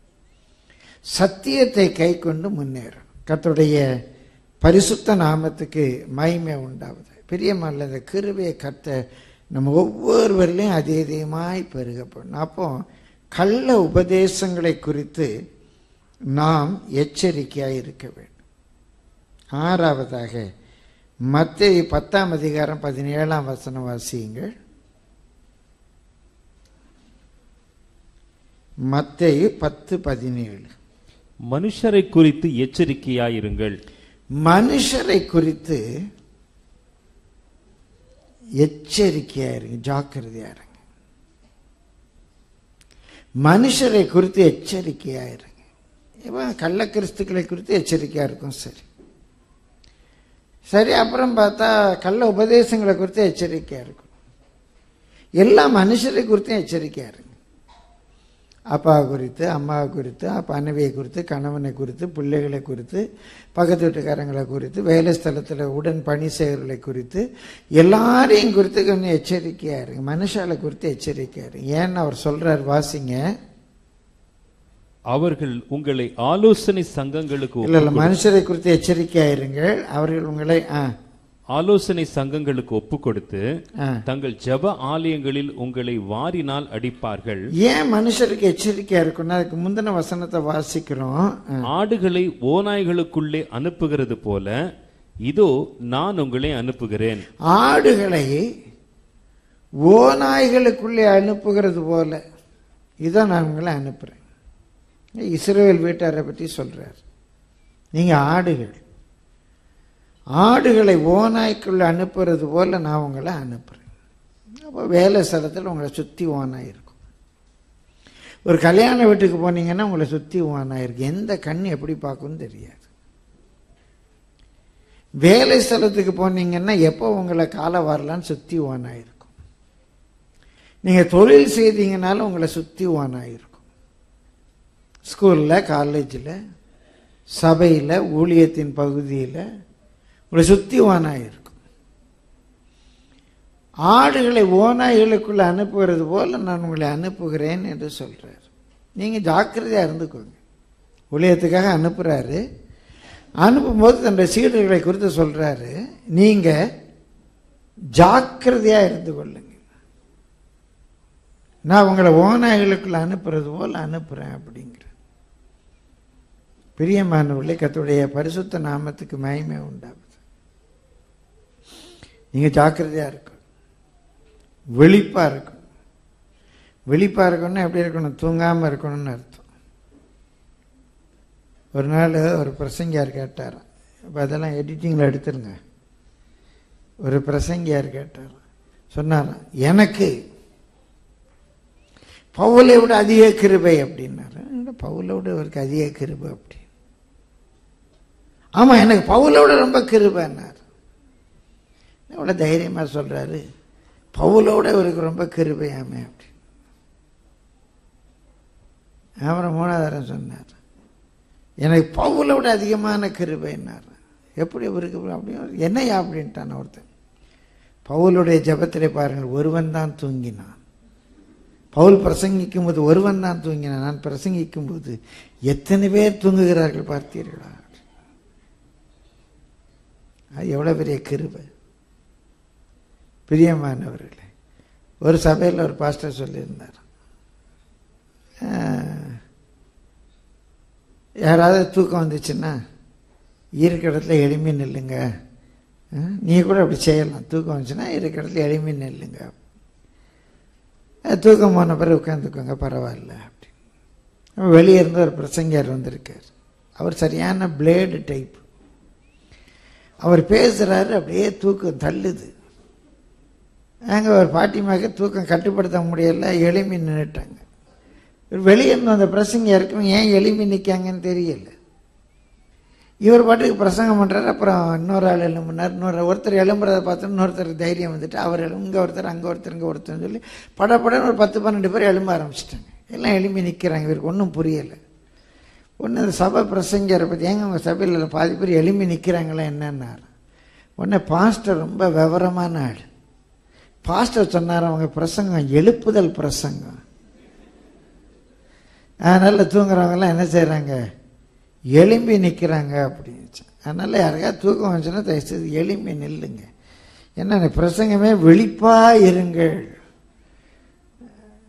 வெளிப்பாயிருங்க. இந்த பிரசங்கத்தை தூங்கிட்டே கேட்டிங்கன்னா அப்புறம் தூக்கத்தில் வந்து வேறு மாதிரி சொப்பனெல்லாம் வந்துடும். நேரத்தான் யாரோ ஒருத்தங்க என்ன ஒரு இது போடுறேன் வினோத்துன்னு நினைக்கிறேன். காந்தி தூங்கும்போது சொப்பனம் கண்டாராம். வினோத் போட்டிங்க? ஆமாம் காந்தி தூங்கும்போது சொப்பனம் கண்டாராம். அவர் அவங்க அம்மாவை கொல்லுகிற மாதிரி.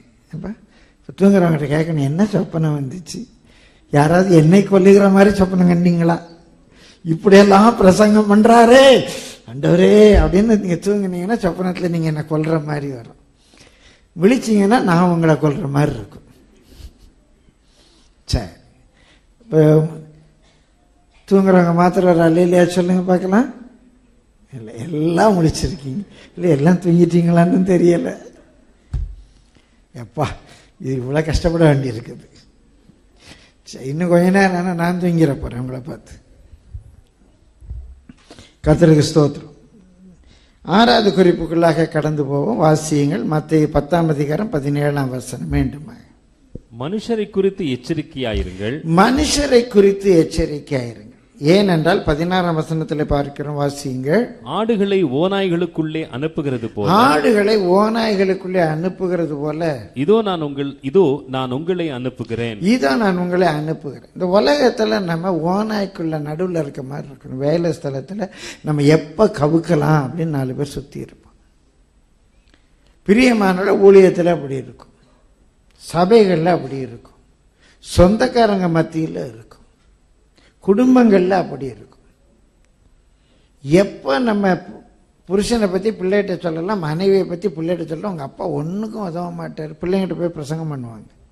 உங்கள் அப்பா ஒன்றுக்கும் உதவ மாட்டேன் நான் தான் உனக்காக கஷ்டப்பட்டு ஃபீஸ் கட்டுறேன். நான் தான் உனக்காக பார்த்துக்கிறேன் உங்கள் அப்பா ஊதாரி உங்கள் அப்பா கையில் காசை கொடுத்தேன் எல்லாத்தையும் வீணாக்கிறோம். என்னத்தையோ உங்கள் பிள்ளைகிட்ட போய் சொல்லுவாங்க. அவர் சொல்லி முடிச்சோன்னே அந்த பிள்ளைகிட்ட ஓட்டு கேட்டு அப்பா போவார். அப்பா ஓட்டு கேட்டு போகும்போது சொல்லுவார் உங்கள் அம்மா வந்து படி படிப்பறிவே இல்லாதோ உங்கள் அம்மா ஒன்றுக்கும் லாயக் கிடையாது. உங்கள் அம்மா பயங்கரமான சண்டைக்காரி. உங்கள் அம்மாட்ட நான் இவ்வளோ கஷ்டப்பட்டு வாழ்ந்துக்கிட்டு இருக்கிறேன். நான் தான் உனக்காக எல்லாம் செய்கிறேன் உனக்காக நான் தான் கஷ்டப்பட்டு வேலை பார்க்குறேன். அவங்க அம்மா பாரு தின்னுட்டு தின்னுட்டு தூங்கிட்டு அந்த கதை சொல்லும்போது அந்த அம்மா தூங்கிட்டு இருப்பாங்க. இல்லைன்னா இவர் தைரியம் வராது சொல்கிறதுக்கு அந்த நேரம் பார்த்தா அந்த கதையை இவர் சொல்லுவார். அப்போ ரெண்டு பேரும் என்ன பண்ணுவாங்க அந்த பிள்ளைவுடைய ஓட்டை வாங்குறதுக்காக அம்மா அப்பாவை பற்றி சொல்லுவாங்க அப்பா யாரை பற்றி சொல்லுவாங்க? அம்மாவை பற்றி சொல்லுவாங்க அந்த பிள்ளை நம்ம மாதிரி புத்திசாலி பிள்ளையாக இருந்தால் நம்ம மாதிரி என்ன மாதிரி இல்லை உங்களை மாதிரி வச்சுக்கோங்க. புத்திசாலி பிள்ளையாக இருந்தால் அம்மா சொன்னது அப்பாட்ட சொல்லி அப்பா சொன்னது அம்மாட்ட சொல்லி ரெண்டு பேரையும் அப்படியே வச்சு அது தனக்கு வேண்டியதை சாதிச்சிடும். ரெண்டு பேர்ட்டையும் சாக்லேட் வாங்கி சாப்பிட்ரும் அது புத்திசாலியான பிள்ளை. இந்த உலகத்துல யாரையுமே நான் நம்ப முடியல. ஓநாய் ஆடுகளை ஓனாய்க்குள்ளே அனுப்புறது போல ஆண்டவர் அனுப்பியிருக்கு அதனால உங்க மனைவி கெட்டவங்க உங்க புருஷன் கெட்டவங்க என்றால நீங்க ஜாக்கிரதையா இருங்க. எல்லா இடத்துல வேலை ஸ்தலத்தில் ஜாக்கிரதையாக இருங்க. பிறந்த வீட்டில் ஜாக்கிரதையாக இருங்க. புகுந்த வீட்டில் ஜாக்கிரதையாக இருங்க. உங்களை தேவன் வைத்திருக்கிற எல்லா சூழ்நிலைகள்லையும் ஜாக்கிர அதனால ஒன்றும் தப்பு இல்லை. அதனால ஆண்டவர் என்ன சொல்றார்? பதினாறாவது வசனத்துல ஆடுகளை ஓநாய்களுக்குள்ளே அனுப்புகிறது போல இதோ நான் உங்களை அனுப்புகிறேன். ஆகையால் சர்ப்பங்களைப் போல வினா உள்ளவர்களாகும் சர்ப்பங்களைப் போல வினா உள்ளவர்களாகவும் புறாக்களைப் போல கபடற்றவர்களுமாய் இருங்கள். புறாக்களை போல கபடற்றவர்களுமா இருங்கள். உங்க வீட்டில் அப்படி இருங்க உங்க மாமியார் வீட்டில் அப்படி இருங்க உங்க வேலை ஸ்தலத்தில் அப்படி இருங்க. சுற்றி இருக்கவங்க எல்லாம் கெட்டவங்க என்று அல்ல. ஆனா நீங்க ஜாக்கிரதையா இருங்க. அவங்க நல்லவங்களா கெட்டவங்களா அவங்கள பொறுத்தது. அவங்க எல்லாம் கெட்டவங்க என்ன நிதானிக்க முடியாது ஓனாய்க்கு நடுவில் அங்கே வந்து எல்லாரும் ஓனாய் நீங்கள் மாத்திரம்தான் ஆடுகள் என்றல்ல. தப்பாக எடுத்துக்காதீங்க. அந்த இஸ்ரேவேல் ஜனம் எல்லாம் ஓனாய் நீ மாத்திரம்தான் ஆடு உன் மனைவி ஓனாய் நீ மட்டும்தான் ஆடு இல்லை உன் புருஷன் ஓனாய் நீ மட்டும்தான் ஆடு அப்படிலாம் இறந்த வயசை தப்பாக நினச்சிடாதீங்க. அங்கே ஆடு எப்படி ஒரு ஓனாய் மத்தியில் ஜாக்கிரதையாக இருக்குமோ அதே போல் உங்கள் வாழ்க்கையில் ஜாக்கிரதையாக இருங்க எச்சரிக்கையாக இருங்க. எல்லாரோடையும் எச்சரிக்கையாக இருங்க. ஏன் இருக்கணும்? பாம்பை போல வினா உள்ளவர்களாய். ஆங்கிலத்தில் வைஸ் அப்படின்னா பாம்புக்கு ரொம்ப ஞானம் இருக்குது பாம்புக்கு ரொம்ப வினா இருக்குது அப்படியெல்லாம் இல்லை. இயேசு பயன்படுத்திய சொல் தாட்ஃபுல்லாக இருங்க. புத்தி கூர்மையாக இருங்க. ரொம்ப கவனமாக இருங்க. ஒரு பாம்புக்கு அரவம் என்ற ஒரு பெயர் உண்டு. அரவம் என்று சொன்னால் the smallest unit of sound சப்தத்தினுடைய மிக குறைந்த ஒரு அளவு அழகு தான் அரவம் என்று சொல்லுவது. அந்த ஒரு சின்ன அரவம் ஒரு இலை உடையிற சத்தம் அப்படி ஒரு சின்ன அரவம் கேட்ட உடனேயே பாம்புடைய உடனே இப்படி பார்க்கும். பிரியமானவர்களே இந்த கொஸ்டின் மார்க் ஏன் அப்படிங்கிற கேள்விக்குறி. இப்படி கேள்விக்குறி போடுறோம் பாருங்க. இந்த கேள்விக்குறி எப்படி வந்துதான் பாம்பு படம் எடுக்கிற விஷயம் அந்த அந்த உருவத்தை தான் கேள்விக்குறியா போட்டாங்க. அதான் வினா. வினானா கேள்வி. அப்படி இமீடியட்டாக பாம்பு வந்து அந்த கேள்விக்குறி மாதிரி இப்படி வந்துடும் அதில் வந்து அந்த சைனே வந்தது. ஒரு கே உடனே ஜாக்கிரதை இப்படி பார்க்கும் எங்கேருந்து சத்தம் வருது? ஏன் வருது? உடனே. குச்சி எடுத்து அடி அடின்னு அடித்த பிறகு தலையை தூக்காது. அந்த ஒரு சின்ன சத்தம் கேட்டால் டான்னு எழுவி அப்படி பார்த்துரும். அதான் அறவம் அப்படின்னு சொல்கிறது உன் வாழ்க்கையில் ஜாக்கிரதையாக இருக்கு என்ன நடக்கு? ஏன் இப்படி வருது? எதுக்கு இந்த சட்டம் வருது? எதுக்கு இப்படி பண்ணுறாங்க இதில் என்ன இருக்குது இந்த மேட்டருக்கு நம்ம எஸ் சொல்லலாமா? நோ சொல்லணுமா? ரொம்ப யோசிக்காதீங்க. நீங்கள் பேச வேண்டியது ஆண்டவர் தருவார். டக்குன்னு வாயை திறந்து அந்த தேவ ஆவியினால் நடத்தப்படுங்க. பிரியமானவர்களே அந்த பாம்பு எவ்வளோ குயிக்காக இருக்கும் எவ்வளோ அஜைலாக இருக்கும் எவ்வளோ நிம்பிளாக இருக்கும் எவ்வளவு வினாவாக இருக்கும் அதே போல உங்கள் சூழ்நிலையில் இருங்க. இப்போ மனைவியோட பேசுகிறோம் சண்டை வர்ற மாதிரி இருக்குது. சண்டை வந்து அது பெருசாக ஆன பிறகு ஆண்டவரே மணி மணி மணி மணிங்கிறது இல்லை. சரி இது சண்டைக்கு போகுது. சரி இந்த சத்தம் இப்படி மாறும் உடனே பிடிச்சிடும் உடனே பிடிச்சிடும் பிரியமானவர்களே இப்போ தம்பி இந்த போர்டு ஆப்ரேட் பண்ணுறாங்க இந்த போர்டு ஆப்ரேஷனை பற்றி சொல்லுவாங்க அது ஊன்னு கத்துன பிறகு ஐயோ ஏதோ சத்தம் வருதேன்னு யோசிப்பேனா அது வந்த உடனே இன்னும் நல்லா இருக்கும் இப்படி போயிட்டே இருந்தால் வரும். வரும்னால பிடிச்சிருப்போம் டக்குன்னு பிடிச்சிருவோம் எதில் கை வைக்கணும்? எந்த ஃப்ரீக்குவன்சியை கட் பண்ணணும்? குயிக்காக செஞ்சிருவோம் அதான் பாம்பை போல வினா உள்ளவர்களாயும். அங்கே புறாவை போல கபடற்றனா புறாவை ரொம்ப கபடு இருக்கா கபடு இல்லையா நமக்கு என்ன தெரியும்? அவர் புறாவை போல கபடற்றவர்கள்னு சொல்லலை அன்மிக்ஸ்ட் கலவாமலும். புறா மற்ற பறவைகளோடு கலக்காது. மற்ற பறவை பக்கத்தில் வந்துச்சுன்னா பறந்து போயிடும். மற்ற பறவைகளோடு புறா நின்று எற தேடாது. அது எற தேடுற இடத்துல ரெண்டு காக்கா வந்துச்சுன்னா புறா பறந்து போயிடும். மற்ற பறவைகளோடு புறா மிக்ஸ் ஆகாது.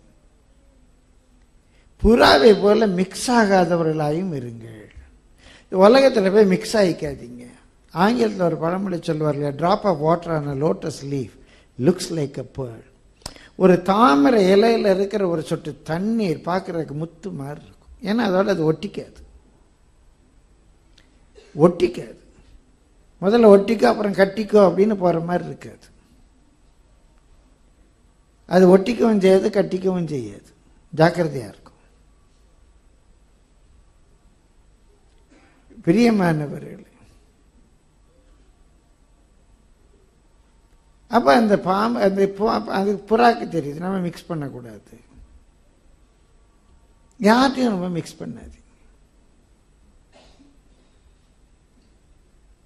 இம்மட்டுவா மிஞ்சி வராதுன்னு அலைகளுக்கு அவர் கட்டல எல்லாத்தையும் அந்த லிமிட்ல இருந்துக்கும். உங்கள் வாழ்க்கை இன்பமாக இருக்கும். சரி குறிப்புகளை பார்த்து கடந்து போவோம். வாசியுங்கள். ஏழாவதாக பிரியமானவர்களே மற்ற இருபத்தி நான்கு நான்கு மத்தேயு இருபத்தி நான்கு. நான்கு இயேசு அவர்களுக்கு பிரதியுத்தரமாக. ஒருவனும் உங்களை வஞ்சியாதபடிக்கு எச்சரிக்கையாயிருங்கள். ரொம்ப முக்கியமானது. இப்போ கள்ள உபதே கள்ள போதலுக்கு எச்சரிக்கையாக இருக்கீங்க. கள்ள உபதேசங்களுக்கு எச்சரிக்கையாக இருக்குங்க. மனுஷருக்கு எச்சரிக்கையாக இருங்க. நீங்கள் ஏமாறாதபடிக்கு எச்சரிக்கையாக இருங்க. நீங்கள் ஏமாறாதபடிக்கு எச்சரிக்கையாக இருங்க. இன்னைக்கு எத்தனை பேர் ஏமாந்து போடுறாங்க ஐயோ அவனை நம்பி ஏமாந்து போனேன். அவளை நம்பி ஏமாந்து போனேன். காதலை நம்பி ஏமாந்து பண்ணுங்க எத்தனை பேர்? காதலியை நம்பி ஏமாந்து பண்ணுங்க எத்தனை பேர்? அதான் வாழ்க்கை வாழ்க்கையை நினச்சி. வாழ்க்கையே இல்லாமல் போனவங்க எத்தனை பேர்? வாழ்க்கையை தொலைச்சவங்க எத்தனை பேர்? பிரியமானவர்கள் அவளை நம்பி மோசம் போயிட்டேன். அவனை நம்பி மோசம் போயிட்டேன். அவனை நம்பி கற்பை கொடுத்துட்டவங்க எத்தனை பேர்? இருதயத்தை கொடுத்துட்டவங்க எத்தனை பேர்? இப்படி அவன்கிட்டயே இருதயத்தை கொடுத்துட்டேன் அப்புறம் அப்போ அவனுக்கு ஹார்ட் அட்டேக்கே வர்றதில்ல. ஹார்ட்டே தான் கிடையாது. இருதயத்தை கொடுத்துட்டு சும்மா ஏமாந்து போகிறது அதுக்கப்புறம் என்ன பண்ணேன்னு தெரியல. எத்தனை காரியங்களில் ஏமாந்து போறாங்க? பிரியமானவர்களே காதல் என்பது ஒரு நல்ல அனுபவம். காதலை பற்றி தெரிந்து கொள்ளணும் எங்கிட்ட கேளுங்க சொல்லித்தார். காதல்ங்கிற ஒரு நல்ல அனுபவம். ஒரு ஆண் எப்போ காதலிக்கணும் கல்யாணத்துக்கு பிறகு காதலிக்கணும். ஒரு பெண் எப்போ காதலிக்கணும் கல்யாணத்துக்கு பிறகு காதலிக்கணும்.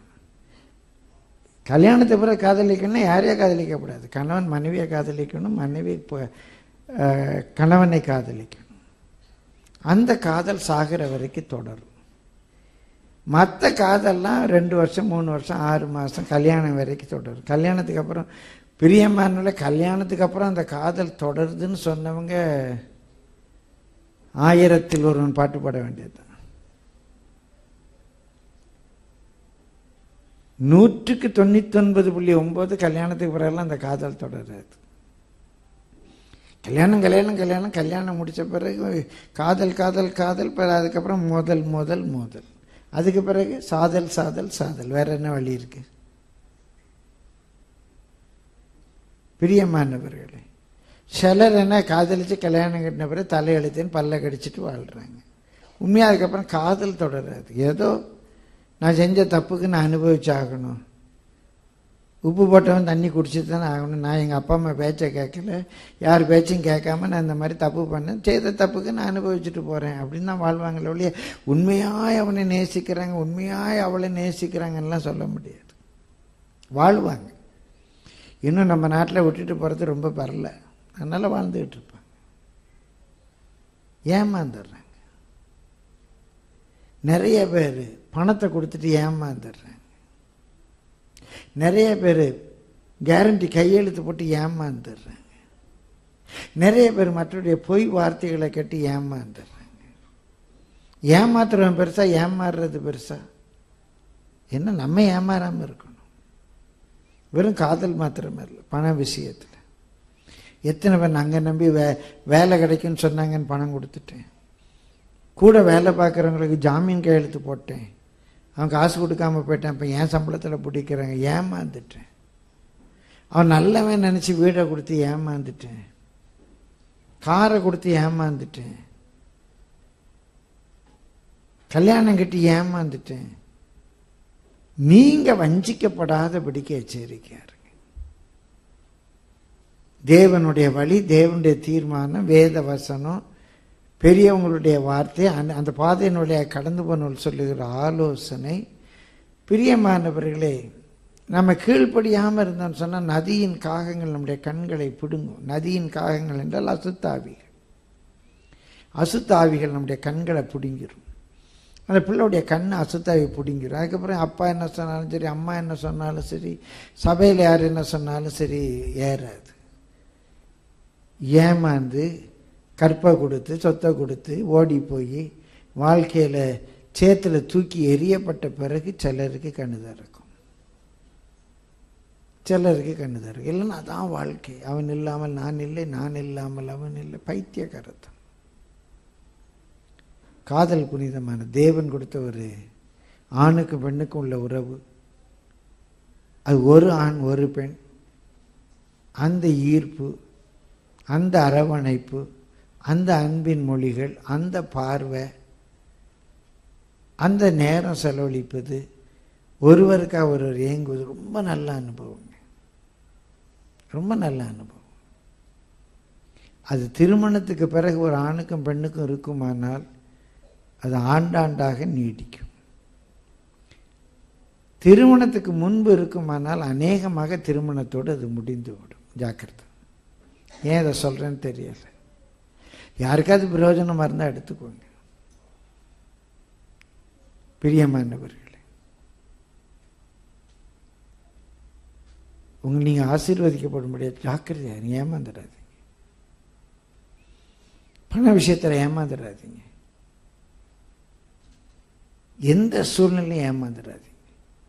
இயேசு அன்பு நிமித்தமாக சொன்னார் நீங்கள் வஞ்சிக்கப்படாதபடிக்கு எச்சரிக்கையாக இருங்க கள்ள உபதேசத்துக்கு எச்சரிக்கையா இருங்கள் கள்ள போதர்களுக்கு எச்சரிக்கையாக இருங்கள் மனுஷருக்கு எச்சரிக்கையாக இருங்கள் நீங்கள் ஏமாந்து போகாதபடிக்கு எச்சரிக்கையாக இருங்கள் எட்டாவதாக வாசிப்போம். குறிப்பாக வாசித்து நான் முடிக்க விரும்புகிறேன். எட்டாவது லூக்கா இருபத்தொன்று முப்பத்தி நான்கு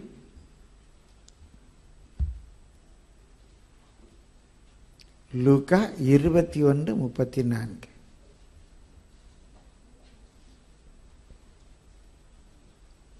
உங்கள் இருதயங்கள் பெருந்திண்டியினாலும் வெறியினாலும் லௌகீக கவலையினாலும் பாரமடையாதபடிக்கும் நீங்கள் நினையாத நேரத்தில் அந்த நாள் உங்கள் மேல் வராதபடிக்கும் எச்சரிக்கையாயிருங்கள். எச்சரிக்கையாயிருங்கள். உங்கள் இருதயம் பெருந்தீண்டியினால் பாரமடையாதபடிக்கு உங்கள் இருதயம் வெறியினால் பாரமடையாதபடிக்கு உங்கள் இருதயம் லௌகீக கவலையினால் பாரமடையாதபடிக்கு அடையாதபடிக்கு அஹ் நேற்று ஒரு வாட்ஸ்அப்னா இங்கிலீஷ் சர்வீஸில் எல்லாருக்கும் நிறைய பேர் தெரியும் தெரியும்னாங்க ஒரு வாட்ஸ்அப் வந்துச்சு. அந்த வாட்ஸ்அப்பில் அந்த அம்மா பிள்ளைகிட்ட கேட்குறாங்க என்னது கேரளாவுடைய முதல் மந்திரியா கவர்னரா? முதல் மந்திரி. கேரளாவுடைய முதல் மந்திரி யார் அப்படிங்கிறாங்க. கேரளாவுடைய முதல் மந்திரி யார்? சொல்லுங்களேன் தைரியம்மா பார்க்குறாங்க இப்போ தான் வாட்ஸ்அப்பை ஆ? பின்னராய் விஜயன் ஒருத்தர் சொல்கிறார் போ இங்கிலீஷ் ஹவுஸில் கேட்டு பேரை கரெக்டாக பிடிச்சிட்டு வந்துட்டார் இப்போ. அந்த பிள்ளைகிட்ட கேட்டால் அது எனக்கும் செட்டப் மாத்திர அவளை சின்ன பிள்ளைகிட்ட போய் கேரளாவுடைய சீஃப் மினிஸ்டர் யாரெல்லாம் கேட்டுட்டு இருக்க மாட்டாங்க கேட்ட மாதிரி ஆந்திராக்காரங்க. ஏன்னா ஒரு இடத்துல காது காதுங்குது அந்த அம்மா. காதுன்னா ஆந்திராவா? பெங்களூரா? தெலுங்கு தானே காது? அது காதுங்கிறப்ப இது ஆந்திரா சு- குடும்பம். அவங்க போய் ஏங்க பினராயி விஜயனை பற்றி கேட்டுட்டு இருக்க ஏதோ கேட்குறாங்க இல்லை செட்டப்பாக இருக்கும். சரி. கேட்டால் அந்த பிள்ளை பிரியாணி. கேரளாவுடைய முதல் மந்திரி யார்? பிரியாணி அப்படி. அதுக்கு பிரியாணி தான். என்ன கேளு பிரியாணி அப்படிங்கிறது பிரியமானவர்களே நிறைய பேருக்கு பிரியாணி. நல்லா திங்கணும். வாழ்கிறதே சாப்பிட்றக்காதானே சாப்பிடாதன்னு சொல்லாதீங்க. நல்லா ஃப்ரைட் ரைஸ் திங்கணும். நல்லா என்னது பீஸா திங்கணும். நல்லா கருவாடு திங்கணும். நல்லா ஏ ஒன் திங்கணும். திங்கிறதே வாழ்க்கை. திங்கிற தப்பே இல்லை நல்லா சாப்பிடுங்க. ஒரு தடவை நான் ஒரு ஊரில் ஆங்கிலத்தில் பேசுகிறேன் அப்போ வந்து நம்ம நாட்டில் மத என்னது மது தடை சட்டம் இருந்தது. மது குடிக்கக்கூடாதுங்கிற சட்டம் இருந்த நாட்கள். நான் இங்கிலீஷில் பேசுகிறேன் if you purse permits you can eat well you can drink well அப்படின்னு உங்களுக்கு வசதி இருந்தால் நல்லா சாப்பிடுங்க அப்படின்னு சொன்னேன். குடிங்கன்னா ஏதோ நல்ல பானம் குடிங்க ஆப்பிள் ஜூஸ் எது வேணாலும் குடிக்கலாம். இப்போ purse permits you eat well you drink well அப்படின்னு. எனக்கு மொழிபெயர்த்து ஒரு பெரிய அதிகாரி. அரசாங்கத்தில் பெரிய அதிகாரியாக இருந்தாலும் எனக்கு மொழிபெயர்க்கிறார். வேகமாக பிரசங்கம் போயிட்டுருக்குது. If you purse permits you can eat well you can drink well அப்படின்னு. அவர் உங்களுக்கு பெர்மிட் இருந்தால் நன்றாக குடிக்கலாம்ட்டார். நல்ல வேளை எனக்கு தமிழ் தெரியும். திரும்பி பார்த்தேன் எப்பா நான் அப்படி சொல்லலை. உங்கள் பர்ஸில் வசதி வாய்ப்பு இருந்தால் நல்லா சாப்பிடுங்கன்னு சொன்னேன்ப்பா.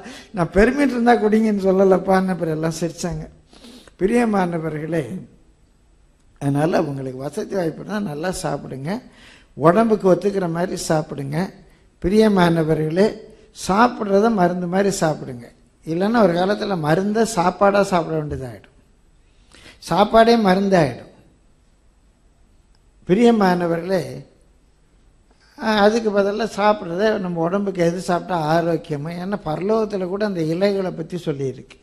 அந்த இலைகள் உடம்புக்கெல்லாம் ஆரோக்கியம். அப்போ நீங்கள் சாப்பிட்றது உடம்புக்கு ஆரோக்கியமாக இருக்கும். நாக்குக்கு மாத்திரம் டேஸ்ட்டாக இருந்தால் போதும். உடம்புக்கு ஆரோக்கியமாக சாப்பிடுங்க. பிரியமானவர்கள் இந்த உடலை ஒருத்தன் கெடுத்தா உங்கள் சரீரம் தான் தேவனுடைய ஆலயம். இந்த உடம்பை ஒருத்தன் கெடுத்தா தேவன் அவனை கெடுப்பார். அப்புறம் உடம்புக்கு ஒத்துக்காததெல்லாம் சாப்பிட்டுட்டு இந்த தெரு ஜங்க் ஃபுட்டெல்லாம் வாங்கி சாப்பிட்டுட்டு ஃப்ரைட் ரைஸ் வேணும் அது வேணும் பீஸா வேணும் அது வேணும் சாப்பிட்டுட்டு அப்புறம் உடம்பு கட்டி போய்ட்டு பிரியாணி யார் சாப்பிடணும்? மிலிட்ரியில் இருக்கவன் சாப்பிடணும்.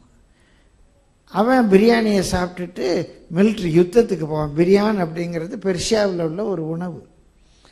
யாருக்குன்னா இராணுவத்தாருக்கு ஏக்தம் அந்த கறிகிரியெல்லாம் ஒரே தம்மில் போட்டு அந்த யுத்த புருஷருக்கு இராணுவ வீரர் கொடுக்கப்பட்ட ஆகாரம் தான் பிரியாணி. அதனால் அந்த காலத்தில் பிரியாணி விற்கிற ஹோட்டல்லலாம் பார்த்தீங்கன்னா மிலிட்ரி ஹோட்டல்னு போட்டிருப்பான் எத்தனை பேர் பார்த்துருக்கீங்க அப்படி? மிலிட்ரி ஹோட்டல் அப்போ அது யார் சாப்பிட வேண்டியது? மிலிட்ரி நம்ம அதை தின்னுட்டு தின்னுட்டு தூங்கிட்டு இருந்தோம்னா அப்புறம் உடம்பு என்னத்துக்காகும்? பிரியாணி சாப்பிட்றது தப்பு இல்லை. சாப்பிட்டுட்டு உடைக்கணும். இதை கேட்டுட்டு பாஸ்டர் தான் சொன்னார் பிரியாணி சாப்பிட்டா சண்டைக்கு போகணுமான்னு வீட்டில் போய் சண்டை போட்டுட்டு இருக்காதீங்க. பாஸ்டர் சொன்னாரியா பிரியாணி சாப்பிட்டா சண்டைக்கு போகணும்னு சொன்னார்னு பிரியாணி சாப்பிட்டோன்னு பொண்டாட்ட போய் சண்டை புருஷன்கிட்ட போய் சண்டை பக்கத்து வீட்டில் போய் சண்டைன்னு போட்டுறாதீங்க. உங்கள் பாவத்துக்கு பழிக்கு நாங்கள் மாறாயிடக்கூடாது பிரியமானவர்களே உடம்புக்கு ஆரோக்கியத்துக்கு ஏற்ற நல்லா சாப்பிடுங்க. ஆனால் உங்கள் வயிறு பாரமடையாதபடிக்கு என்றல்ல அங்கே வசனம் சொல்லுது உங்கள் இருதயம் பாரமடையாதபடிக்கு. என்ன சாப்பிடுவோம் என்ன குடிப்போம் என்ன உடுத்துவோம்னு சொல்லி கவலைப்படாது இந்த உலக பிரகாரமான காரியங்களுக்காக உங்கள் இருதயம் பாரமடையாதபடிக்கு எல்லாம் ஆண்டவர் பார்த்துக்குவார். ஆண்டவர் பார்த்துக்குவார்? ஆண்டவர் பார்த்துக்குவார். எல்லாம் அவருக்கு தெரியும். அவர் எப்படி நடத்தணுமோ நடத்துவார். அவர் கைவிட மாட்டார். அவருடைய வழிகள் ஆச்சரியமானவர் அவருடைய வழிகள் ஆராய்ந்து முடியாதவை பிரியமானவர்கள் ஞானமாக நடங்க. ஆனால் கவலைப்படாது இருதயம் பாரம் அடையாதபடிக்கு எச்சரிக்கையார் ஒன்றை குறித்து. இருக்கா? சரி. இல்லையா? சந்தோஷம். எனக்கு எது தேவையோ அதை கர்த்தர் தர்றார் எனக்கு எது தேவையோ அதை கர்த்தர் கொடுக்குறார். பிரியமானவர்களே அந்த நாட்கள்லாம் ரொம்ப ஒரு பஞ்சத்தில் இருந்த நாட்கள் சபைகள் கிறிஸ்தவ பெந்தைகோஸ்த சபைகளுடைய ஆரம்ப நாட்கள். அப்போது ஒரு ஜப வீட்டில் எல்லாம் ஊழியக்காரங்களாக இருந்து தங்கி இருக்கிறாங்க அங்கேயே ஒரு சின்ன தோட்டம் அதில் அந்த வெள்ளை பூசணி எல்லாம் போட்டிருக்காங்க. அவங்களுக்கு வேறு காய்கறி வாங்க முடியல. அந்த வெள்ளை பூசணி அறுத்து அறுத்து டெய்லி அதெல்லாம் அவங்களுக்கு சாம்பார். ஏதோ ஒரு கூட்டம் எல்லாம் அந்த வெள்ளை பூசணி. அப்போ அங்கே ஒருத்தர் ஊழியத்தில் இருந்தார். அவங்கெல்லாம் மருந்து எடுக்க மாட்டாங்க. அவருக்கு இந்த டெய்லி இந்த வெள்ளை பூசணி சாப்பிட முடியலை. அப்போ அந்த சிஸ்டரை பார்த்து இது நடந்த சம்பவம். அங்கே இருந்து அந்த மூப்பத்தி அந்த மதரை பார்த்து சொன்னாங்களாம் என்ன மதர் டெய்லி வெள்ளை பூசணி போடுறீங்க? அப்படின்னா. அப்போ அந்த மதர் சொன்னாங்களாம் கர்த்தர் உனக்கு என்ன கொடுக்காரோ அதை ஸ்தோத்திரம் பண்ணி சாப்பிட்டு போ பேசாமல் கர்த்தர் என்ன கொடுக்குறாரோ அதை ஸ்தோத்திரம் பண்ணி சாப்பிட்டு போன்னார். இவர் ஸ்தோத்திரம் ஸ்தோத்திரம் சாப்பிட்டு போயிட்டார். இவர் ஊழியத்துக்கு வரும் முன்பாக மெக்கானிக் இருந்தவர் மெக்கானிக் வேலைலாம் தெரியும். அங்கே ஆயிலில் நின்று ஆயிலுக்கு மத்தியில் நின்று அந்த காரு அந்த சபையில் உள்ள அந்த காரோ வேனோ அதை ரிப்பேர் பண்ணிகிட்ருக்காரு பயங்கரமான இருமல். இருமிகிட்டே அந்த வேலையை செய்கிறார் பக்கத்து வீட்டில் ஒரு டாக்டர் அந்த டாக்டர் அவரை கூப்பிட்டு சொன்னாராம் நீங்கள் இவ்வளோ பயங்கரமாக இருமுறீங்க இது நல்லதில்லை. ஆனால் நீங்கள் எல்லாம் மருந்து எடுக்க மாட்டீங்க. நான் சொன்னாலும் நீங்கள் மருந்து சாப்பிட மாட்டீங்க. ஆனால் இருமலுக்கு நான் ஒன்று சொல்கிறேன் ஒரு ஒரு வாரம் நீங்கள் இந்த வெள்ளை பூசணி சாப்பிடுங்க அப்படின்னார். ஒரு வாரம் இந்த வெள்ளை பூசணி சாப்பிடுங்க உங்கள் உடம்புக்கு நல்லது நல்ல ரெசிஸ்டன்ஸ் வந்துடும். அங்கேருந்து அந்த ஸ்பேனர் தூக்கிட்டே ஓடி வந்தார். என்கிட்ட சொன்னவங்க அந்த கதையை சொல்லுவாங்க அந்த ஸ்பேனரோடய உள்ளே ஓடி வந்தாரான் நடந்த சம்பவம். மதர் மதர் மதர் எல்லாம் பயந்து என்னமாச்சு என்னாச்சுன்னு தெரியல. திடீர்னு மதர் மதர்னு கத்திட்டு வர்றாரு. அப்படின்னு எல்லாம் ஓடி வந்தாங்க. ஆண்டவருக்கு தெரியும் நான் என்ன சாப்பிடணும் ஆண்டவருக்கு தெரியும் நான் என்ன சாப்பிடணும். என்னப்பா என்னப்பா ஆச்சு? இந்த மாதிரி என் உடம்புக்கு வெள்ளை பூசணி தேவை அப்படின்னு என் ஆண்டவர் அறிந்திருக்கார். உங்களுக்கு என்ன தேவைன்னு உங்கள் பிதா அறிந்திருக்கிறார். எது எப்போ வேணுமோ அது அப்போ நடக்கும். எல்லாவற்றையும் அதனதன் காலத்தில் அவர் நேர்த்தியாக செய்வார். எல்லாவற்றுக்கும் பிரியமன் அதனதன் காலத்தில் அவர் நேர்த்தியாக செய்வார். சில வேளைகளில் நம்ம கஷ்டப்படுறதும் ஆண்டவர் நமக்காக வைத்த ஒரு பலன். அந்த காலம் தான் நம்மை உருவாக்குகிற காலமாக இருக்கும். சில வேளை நம்ம காத்திருக்க வைப்பார். அதான் நம்முடைய சில பாடங்களை படிக்க வேண்டிய காலமாக இருக்கு. எல்லாவற்றையும் அவர் அதன் அதன் காலத்தில் நேர்த்தியாக செய்வார். உங்கள் இருதயம் பாரமடையாதபடிக்கு எச்சரிக்கார் இன்றைக்கு ஒரு நாலு காரியம் பார்த்துருக்கோம். பிரியமல்ல இன்றைக்கு பார்த்த காரியத்தில் முதலாவது கள்ள உபதேசங்களுக்கு எச்சரிக்கார் எங்கேருந்து என்ன உபதேசம் வந்தாலும் வேத வசனத்தில் அதுவும் ஒரு வசனத்தை எடுத்துக்கிட்டு இல்லை டோட்டாலிட்டி ஆஃப் த பைபிளில் என்ன இருக்குது இவங்க எப்படி சொன்னாங்க அவங்க எப்படி சொன்னாங்கன்னு மண்டையை ஓட்டு குழப்பிக்காது. ஆரோக்கியமான உபதேசம் பைபிளில் இருக்குது சவுண்ட் டாக்டரின் ஆரோக்கியமான எந்த உபதேசம் ஆரோக்கியமாக இருக்கும் பாருங்கள் கள்ள உபதேசங்களுக்கு எச்சரிக்கையாருங்க.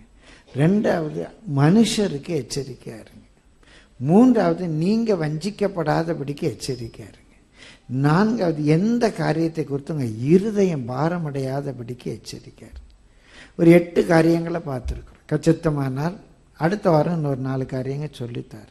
வாழ்க்கையில் எச்சரிக்கையாக இருங்க மனுஷருக்கு எச்சரிக்கையாக இருங்க ஏமாந்து போகாதபடி எச்சரிக்கையாக இருங்க பொருளாசையை குறித்து எச்சரிக்கையாக இருங்க உங்களுக்கு இருக்கிற தரிசனம் கெட்டு போகாதபடிக்கு எச்சரிக்கையாக இருங்க பிரியமானவர்களே கள்ள ஊழியர்களுக்கு எச்சரிக்கையாக இருங்க எல்லாவற்றுக்கும் மேலாக உங்களுடைய வழிபாட்டு முறையை குறித்து. ஜெபம் பண்ணுறது வேதம் வாசிக்கிறது கோயிலுக்கு போகிறது காணிக்கை கொடுக்கறது ஏழைகளுக்கு உதவுறது எந்த ஒரு வழிபாட்டு முறையாக இருந்தாலும் ரிலிஜனாக இருந்தாலும் டெமான்ஸ்ட்ரேட் பண்ணுறதுல எச்சரிக்கையாக இருங்க. மனுஷர் பார்க்கணுன்னு செய்யாதீங்க. மனுஷர் புகழணும்னு செய்யாதீங்க. கண்டிப்பாக கத்துறவங்களை ஆசீர்வதிப்பேன் வாழ்க்கையில் எச்சரிக்கையாக இருந்து தப்புங்க. உங்களுக்காக நான் ஜெபம் பண்ணுறேன் எல்லோரும் இருக்கிற இடத்துல கத்துடைய முகத்தை நோக்கி பாருங்கள் வாழ்க்கையில் எச்சரிக்கையாக இருக்கக்கூடிய கிருபையை கற்று தரும்படியாக கேளுங்க. அன்பின் இயேசுவே இந்த எங்களுக்கு நீர் அனுப்பி தந்த இந்த நல்ல வார்த்தைகளுக்காக நாங்களுமே நன்றியோடு நன்றியோடு நன்றியோடு மே ஸ்தோத்திருக்கிறேன் வாழ்க்கையில் எச்சரிக்கையாக இருக்க கிருபை தார் பிழை விட விடாதீங்க ஆண்டவர். உமக்கு ஸ்தோத்திரம். சபையை ஆசீர்வதி பிள்ளைகளை ஆசீர்வதிங்க. எப்படி ஆகலும் மா கோணலும் மாறுபாடுமான சந்ததியின் மத்தியில் திருவசனத்தை பிடித்து கொண்டு சுடர்களாய் பிரகாசிக்க உதவி செய். இயேசுவின் நாமத்தில் பிதா